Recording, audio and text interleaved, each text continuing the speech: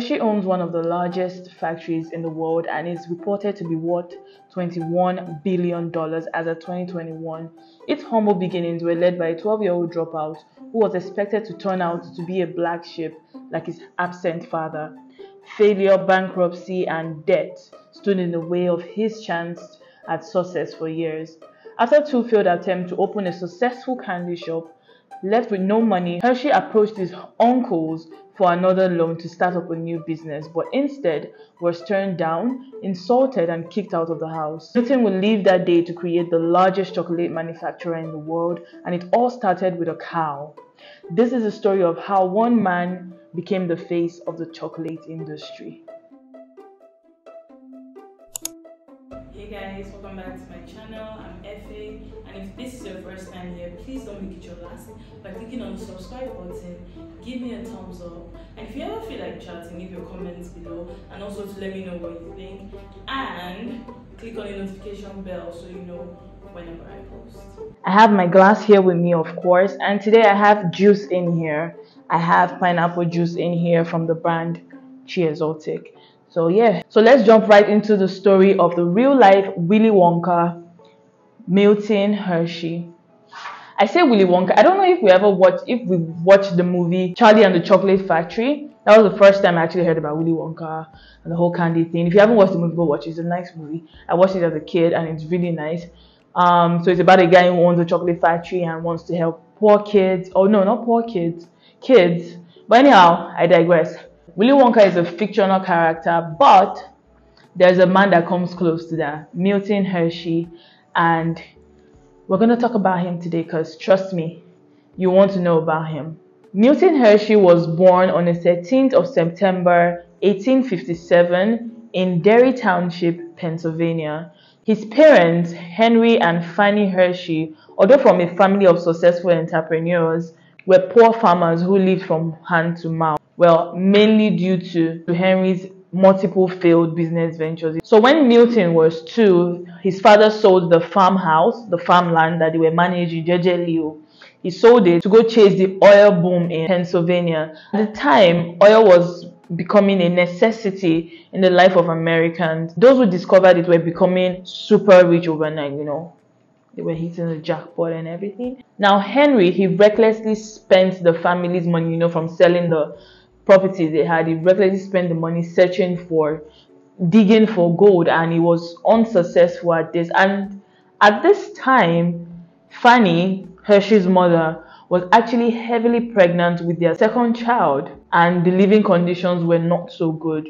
Situation was not good, so they were living in extreme poverty. So one day, Fanny's two brothers came visiting and found their pregnant sister looking lifeless and while she was pregnant, you know, and Hershey looking so malnourished and, you know, he looked a little too small for his age, okay? The brothers did not like this and they told Henry, Henry, Henry, bro, mm-mm, not our sister, okay? Here's what we're gonna do. We're gonna move you guys back home and give you guys a farmhouse and everything, okay? Because this is ridiculous. But get this, Henry still had the guts to go meet Fanny I was like, yo, tell your brothers to cut me some check, okay? See, I am so close to this oil dig, you know? Fanny was like, boy, if you don't get... I wasn't there, I'm just assuming that would be the appropriate response, you know? You want to kill me in poverty, here's help and you're telling them to give you... Boy, pack your things, okay? So Henry reluctantly agreed and the whole family was moved back to Lancaster Pennsylvania. The brother gave them a farm to live like he promised. So while they were at this new farm, um, Milton helped his mother to raise chickens. They would raise chickens and sell eggs. The father, Henry, would um, experiment with dams and raising fishes in them. However, Milton saw that the relationship between his father and his mom wasn't so good, you know. Love is sweet though. When money enters, love is sweeter. I'm just saying. So the relationship between Fanny and Henry was not so good, and young Milton could see this. And the whole situation became worse when Henry again left the family to fend for themselves in pursuit of another business venture, business opportunity. So he left his family and was like, I got dreams to pursue. I'll catch you guys later, okay? Good.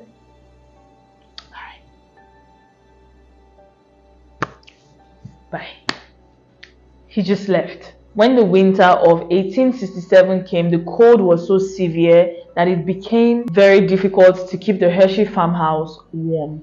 Both Milton and his little sister caught a cold, and while his mother tried everything to restore their health, his sister worsened until she developed a terrible fever. It was at this point that Fanny realized that her daughter didn't just have a cold, but the scarlet fever, a disease that claimed the lives of thousands of children at the time, and Serena was no exception. At the young age of four, Serena sadly passed away. This tragic event proved to become a turning point for Milton, who at the tender age of 10 promised himself to do whatever it took to create a better life for himself and his mother. So a while later, he dropped out of school and decided to start his journey to, you know, making ash money. So this is when he goes to learn a trade. In 1871, at the age of 14, Milton landed his first job as an apprentice for a local printer in the town. His father actually got him a job. Yeah, okay.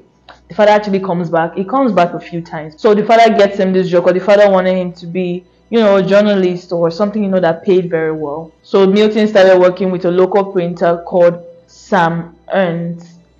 Ernest? Sam Ernst. Yeah who was a publisher of a German English newspaper at the time. Putin hated the job. He found the job to be quite, you know, boring. He wasn't really feeling it. he wasn't vibing to it. And because he didn't he found it boring, he didn't put much effort, so he found himself being yelled at a lot by the owner who had a very short temper, you know. Is it short temper or quick temper? Sure. He had a temper. So he was always yelling at him and this it was a toxic working environment, you know. HR. But the issue is when the father got him a job, the father actually signed a contract with Sam, the owner of the newspaper, that Milton will work there for like five years.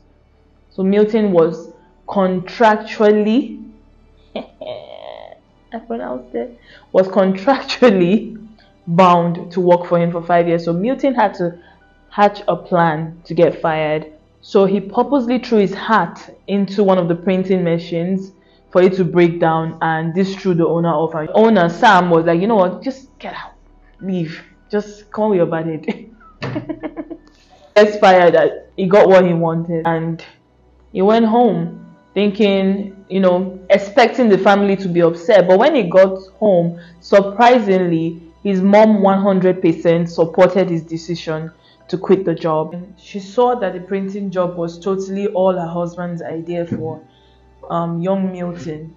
So she came together with her sister Maddie and got Milton another job at the Lancaster Confectionery owned by Joseph Royer. It was here that Milton would get his first taste at the candy business. Candies at the time were created by experimentations and these recipes were passed down from generations to generations. Recipes were very vague and many of them were not even written down and had to be reproduced by memory. Like, you had to have strong memory to work in the candy industry, man. So, as a result of this, how complex it was, the owner did not trust young Milton to, you know, be able to fall into the manufacturing side of it and instead assigned him to like wash dishes and take orders at the counter. And also delivery like delivering their sweets and ice creams to the homes of customers. Milton's mother fanny knew that this wasn't a good fit for her son because in order for milton to become successful he had to learn how to make the most sustainable and long lasting product that the shop had to offer which were candies. So she went to meet the owner and was like dude my son can i need you to excuse my son from all those other menial jobs and teach him how to make candy. I'll pay you even. Yeah. Fanny's mom paid the owner of the candy shop to teach milton how to make candies. And you know the cha-ching the money part motivated the owner to be like okay you know what? I'll give him a chance you know. Give him my money but you know i'll give your son a chance.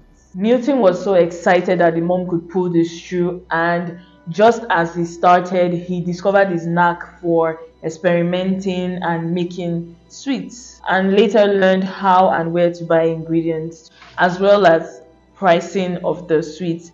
He became familiar with a wide range of sweets like caramel, fudge, and peppermints. And his father, Henry, totally disapproved of this. He would always say that making candy was a woman's job. But Milton paid no attention to his words. He was head set on what he wanted and he went for it. So again, Henry, Milton's father, surprise, surprise, left the family again to Chicago in pursuit of another business venture. You know, this guy, this guy. Milton spent four years working with Mr. Royers, learning the ins and outs of the business. And after gaining confidence in his knowledge and expertise, he and his mother agreed that it was time to open his own shop. The only problem was the all the money Milton had managed to save over the years wasn't enough to open a confectionery shop.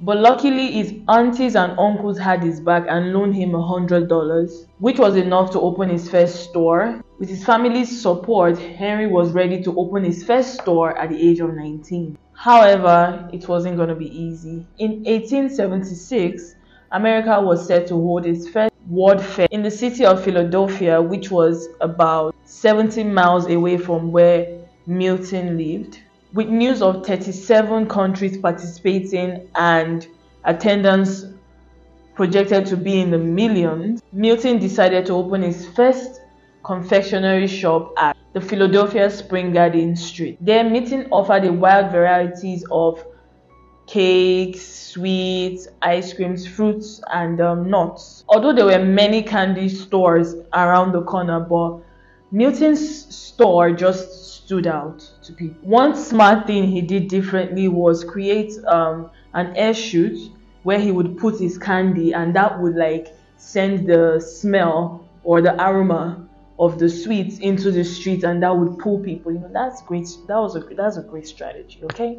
So that was how he attracted more people. As his business began to flourish, Milton had to rent a bigger space for his shop. But things took a drastic turn when the World Fair ended and the whole nation fell into a depression, leading his sales to plummet. Milton managed to stay afloat by selling his candies at wholesale to other candy shops.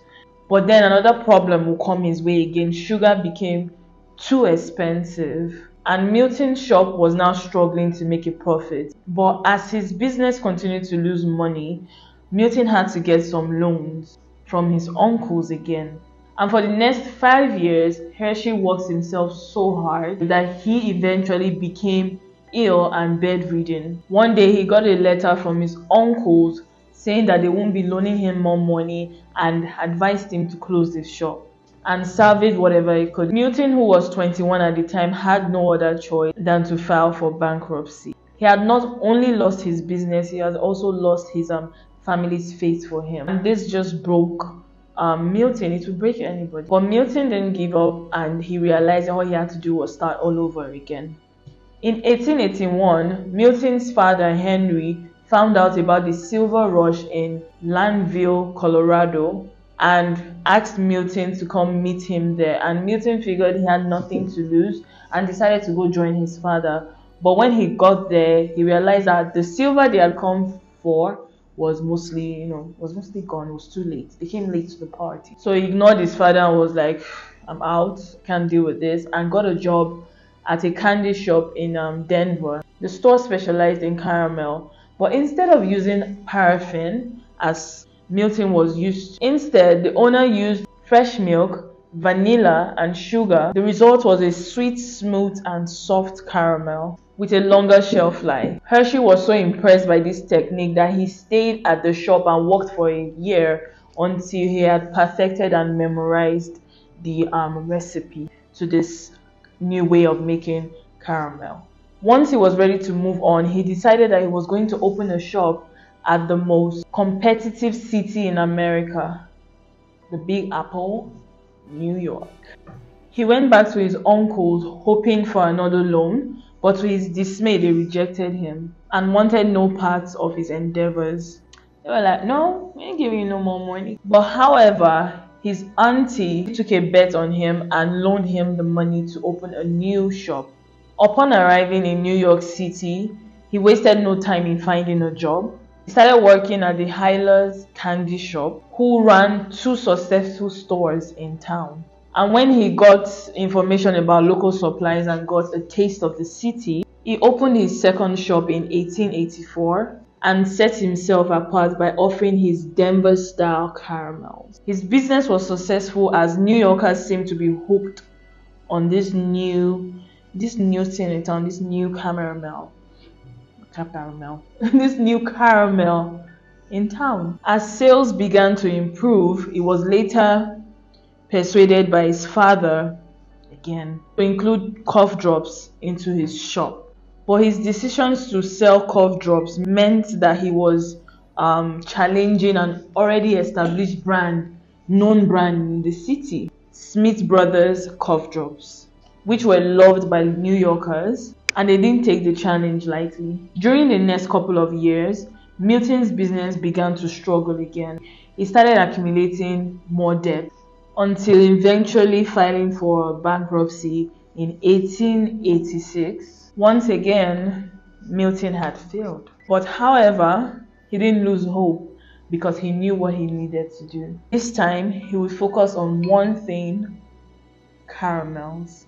Returning back home to Lancaster wasn't easy for Hershey. Still, he summoned the courage after a few weeks and went back to his uncles and aunties for, you know, more loans.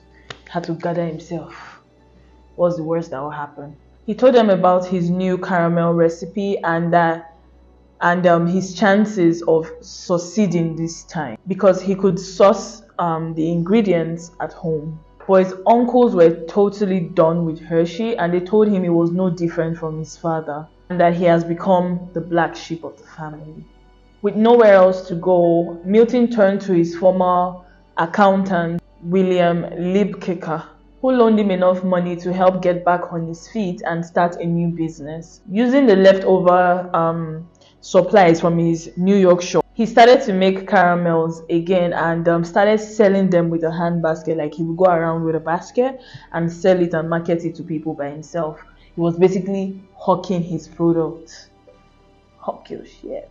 So he was hawking on the streets of um, Lancaster Using fresh milk, all the tricks he had learned along the way, he was able to create the perfect caramel that customers loved. He later established the Lancaster Caramel Company and as his um, sales began to grow. Milton reinvested the money in getting um, a push cart and then graduated to getting a new um, a new space, a small production um, place. Although Milton's auntie had refused him for another loan. She later changed her mind when she saw the um, little growth in and the effort Milton was putting to the business and loaned Milton another $700 to buy equipment. But this time there was a catch. He had to pay her back the money within 90 days.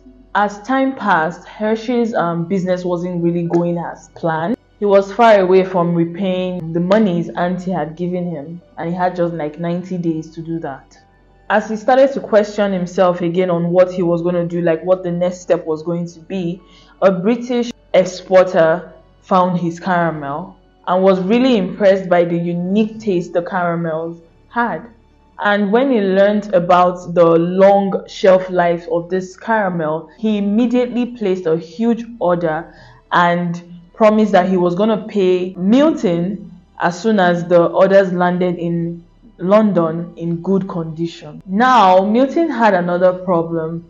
He didn't even have the capital to produce these products in the first place, not to talk of shipping them. So he he went back to the bank and even though he already had this debt of $700 hanging over his head, he went to the bank and asked them for another $1,000 you know, to produce this caramel. Initially, the um, officer had rejected his request, but upon looking further, he was impressed by Milton's cards and um, the unique taste of his caramel and the effort Milton was actually putting into the business. Knowing that the bank would not give Milton this money, the officer himself used his name to get the loan and um, gave it to Milton. He just believed there was something about Milton that the officer just believed. Immediately after, Hershey hired more hands in order for him to produce and meet up with the order by the British importer or exporter importer exporter and he was able to ship the caramels out the following week. After a few days milton still didn't hear anything from the british um, importer and he was getting very weary and restless and very impatient because he knew if this falls through if this doesn't work out he's screwed again and he has failed again. He's going to file for bankruptcy and you know so many things. They already think he's the black sheep of the family. So imagine failing again. They'll be like you know i told you so and all of that so he really had a lot of pressure on him at this um, period he was waiting. Few days to when the time had elapsed for the loan milton got a letter and inside was a check for 500 british pounds which would amount to about $65000 right now. Cha-ching! Milton was overwhelmed and finally he was able to pay off all of his debts and his worries were over. From there, sales of his proprietary caramels, Hershey's Crystal A, took off. And most of his sales came from Europe at the time. He slowly began to expand in the US too. And by 1894, Milton's business had grown into several factories with thousands of workers and was bringing over a million dollars in sales. He became one of the richest and most respected men in all of Lancaster. With a strong team in place taking over the whole production, Milton was now in his 30s. By this time, he had more time on his hand and he grew restless. On one occasion, he visited the Columbian Exposition in um, Chicago to check out the world's newest invention. Unbeknownst to Milton, this trip will forever change his life. During his visit to the exposition, Hershey witnessed J.M. Lehmann's chocolate rolling machinery from Germany. At the time, chocolate was a luxury most people couldn't afford. Like, chocolate was for the rich and bougie, okay? You couldn't have chocolate if you didn't have money. But Lehmann's demonstration proved that chocolate could be mass produced and therefore making it more available to more people because it could be produced at a cheaper rate. Sensing an opportunity, Hershey offers to buy Lehmann's whole setup, which Lehman gladly accepted. Now, immediately after Milton returned to Lancaster, Hershey began experimenting with producing sweet chocolates and other cocoa products, and soon incorporated the Hershey Chocolate Factory as a subsidiary of his um, caramel business. Using his old formulas of fresh milk as he had learned with the caramel. Over the years, Milton added different varieties of sweets until he it amounted to about 100 different varieties of different kinds of sweets. However, he started noticing that um, the sales of chocolate was beginning to spread in Europe, but was however eating into his um, caramel business shares. At that point, Hershey believed that the caramel business had peaked and was fast becoming a thing of the past. And at this point was when Milton was about to make the most risky business decision of his life. He was going to sell his caramel business and solely devote his time to chocolate. In 1900, he sold his business to another competitor for the sum of $1 million and cha-ching, he immediately after started the construction of his new factories. And it was a massive factory with high-tech machineries for his new company. As construction of his new factory began, Hershey instructed some of his most trusted employees to go work for his competitors, you know, get intel, sneak around so they might learn their techniques. And most of them had to travel out, you know, to try like they spread out, they really spread out. But although this was this proved to be very unsuccessful, but Milton couldn't bother his head with that, you know. In early 900, political corruption was increasing in the area. There was political tension, so Milton made the decision to move away. He made the difficult decision to leave his business town he bought over 1200 acres of empty farmland in Derry Church and began developing a whole new town from the ground up for himself and his workers. But as the walls of his six acre factory began to rise by the end of 1903, Hershey and his men still didn't know how to mass produce and um, preserve chocolate, which at the time only the Swedes had mastered this, but they kept it a secret. But unbeknownst to Milton, the answer was right beside him the whole time. In Lancaster, Hershey hired a previous employee from his caramel business in Lancaster, Johnny Schmalbach, who at his very first attempt found a way to warm and condense the milk without burning it, creating a mild tasting milk chocolate that tasted sweet but with a subtle sour note. But not only that, the process of using condensed milk instead of powdered milk helped to increase the shelf life of the product, meaning it could be mass produced and less expensive. Little did Johnny know that he has just laid down the formula for which the Hershey Corporation would be based on.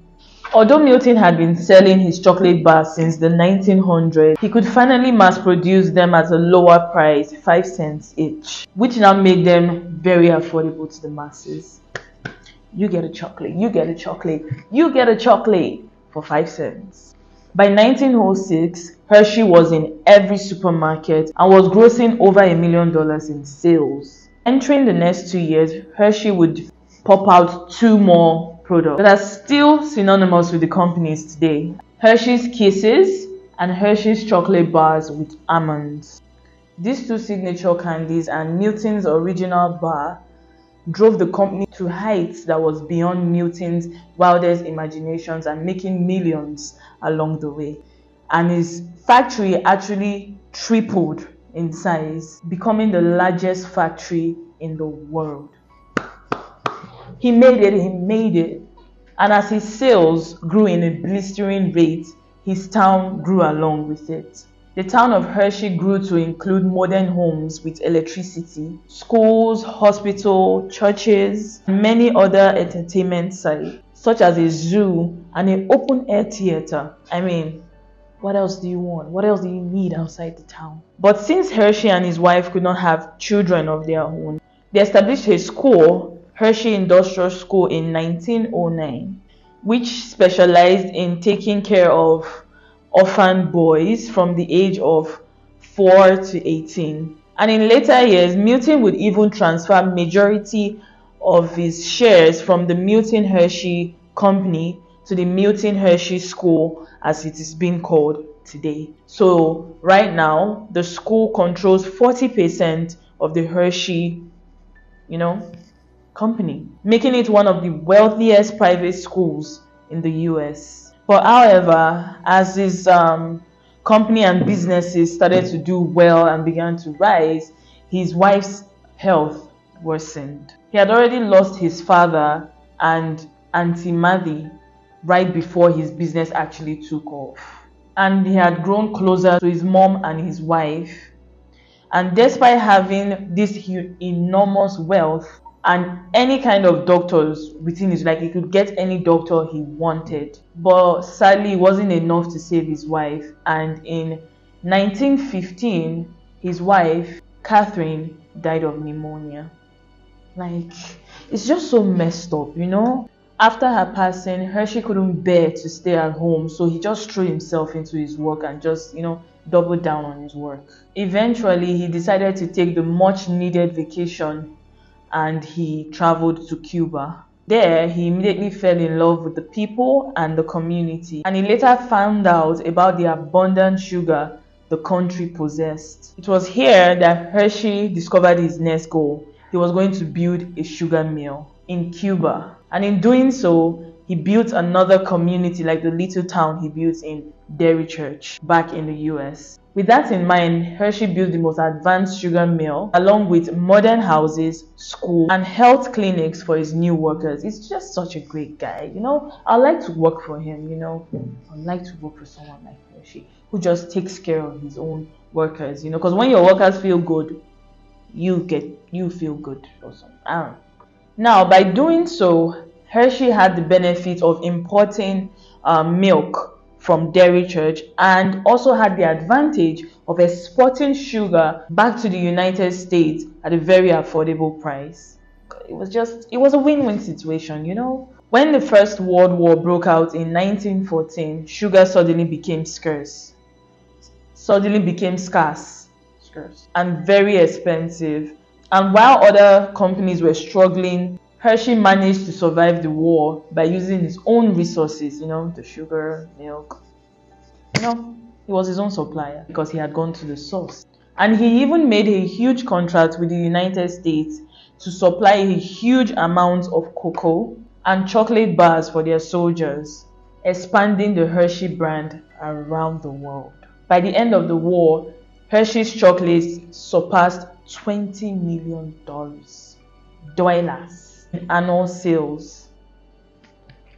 But shortly after, Milton experienced another tragedy. His loving mother, Fannie Hershey, passed away in 1920. And this was a very difficult time for Hershey because, like, come on, everyone who supported and really loved him gone. The auntie, the dad, and now his mom. I guess he still had his uncle, but I don't know how the relationship um, after they didn't help him anymore, I don't know how the relationship was. I don't think they were bad people, but you know, this was a very tough time for Milton because apart from losing his mom, he was also facing very fierce competition like never before as Milton saw how other chocolate brands picked up market shares by spending heavily on ads. His sales continued to soar as they reached an astonishing amount of $41 million by 1929. Back then, oh, these are the real big boys. Hershey continued to run the company until 1944 when he retired as the CEO at the age of 87. He really lived a long life. Milton died a year later, so at the age of 88, in his hometown, Hershey, Pennsylvania. Following his death, the Milton Hershey Company continued to grow and remains one of the largest chocolate manufacturers in the world with a market cap of over $44 billion. So we've come to the end of this story and it's just a story of resilience and finally making. Imagine a poor farm boy who was doomed to fail, like all the odds were against him. But luckily for his extended family, that helped. But still, you know, at some point, you know, some people they just do, you just stop, you do, you just stop, you do. He just showed that okay, you do, you fail, failing is important in success in my opinion. I feel you only fail when you stop. As long as you keep going you haven't failed yet. If you have a dream there's a reason you have that dream. It's because you're capable of it. So you just keep pushing. So milton hershey today takes care of thousands of children in pennsylvania like they are well taken care of. The quality of education this man left for kids it's one that people pay millions and thousands of dollars for. And he made it available for kids for free.